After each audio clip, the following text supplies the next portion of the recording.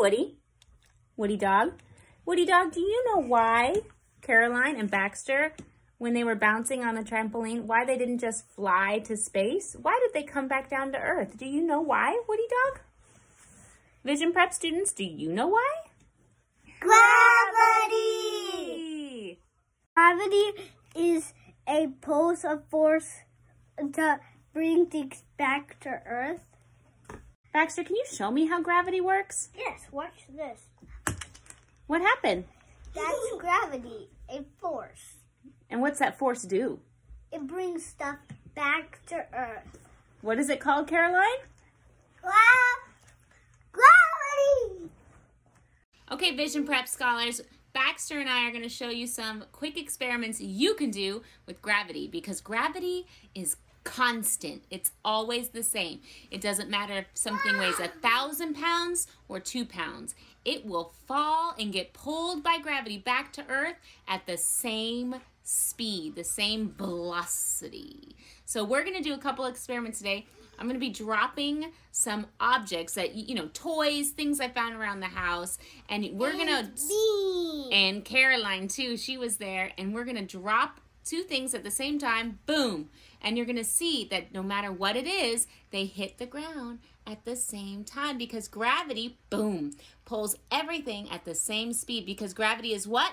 Gravity is constant. He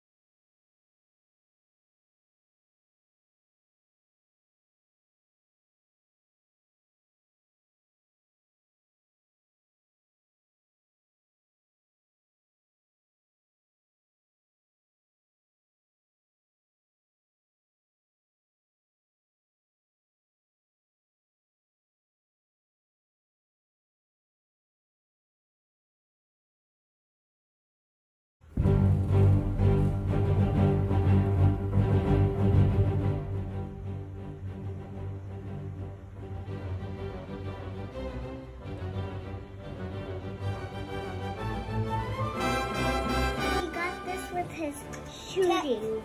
Ten, nine, eight, seven, six, five, four, three, two, one. Last up, I'm escaping Earth's gravity. Okay, guys, that was it. We dropped um, our things that we found around the house. You saw that they all landed th th at the same time. You saw how Baxter plays with gravity with his rocket ship, with his Saturn V rocket ship.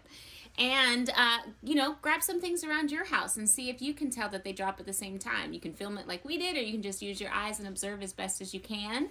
Um, I hope you guys had a fun day. You're going to see a couple slides next about how much you would weigh on other planets because planets have different masses, and if they have different masses, they have different gravity. But that's a different lesson for a different day, okay? So you're going to see a slide about how much you would weigh on another planet in our solar system.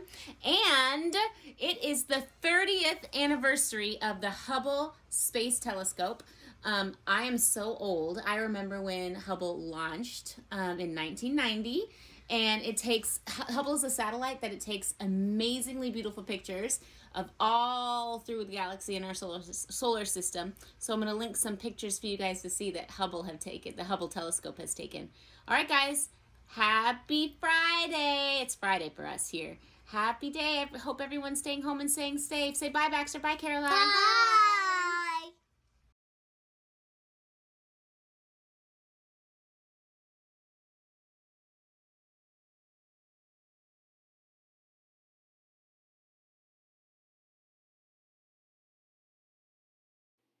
Here is a real live picture of the Hubble telescope.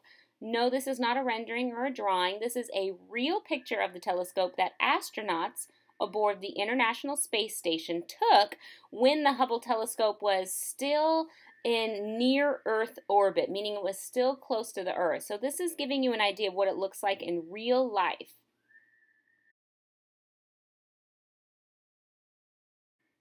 Here is a diagram of the Hubble telescope that NASA um, created and put out. NASA made the Hubble telescope, and this is an infographic, an information picture of the te Hubble telescope and all the parts. So what I want you to do is pause this video and read what all these different parts of the Hubble telescope are and what they do.